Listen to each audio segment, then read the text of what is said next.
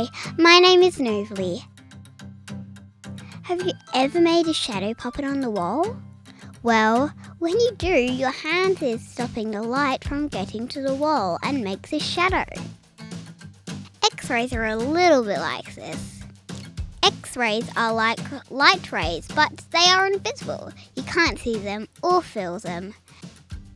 Some cameras at the hospital take pictures of the inside of your body using X-rays. X-rays come out of the camera and pass through the soft things in your body, like skin and fat.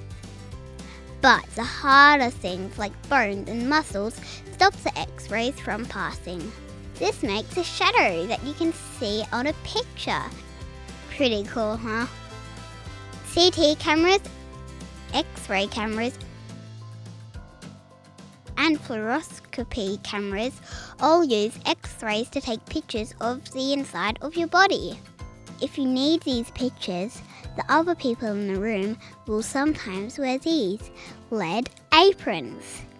Lead aprons block the X-rays. The people in the room don't need X-rays because they aren't having pictures taken of their body. That's why they wear them. Lead aprons have different colours, shapes, and pictures on them. Let's check them out.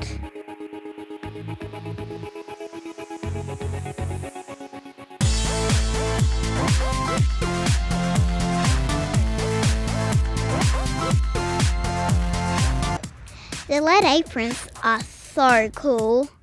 So many colours, shapes, and pictures.